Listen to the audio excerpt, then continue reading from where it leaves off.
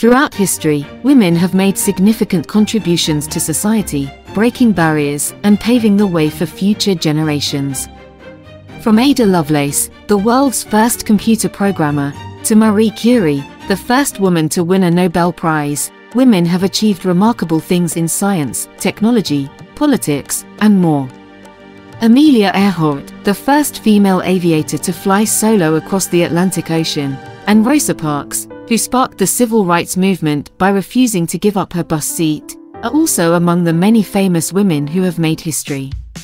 Join us as we celebrate their achievements and honor their legacies.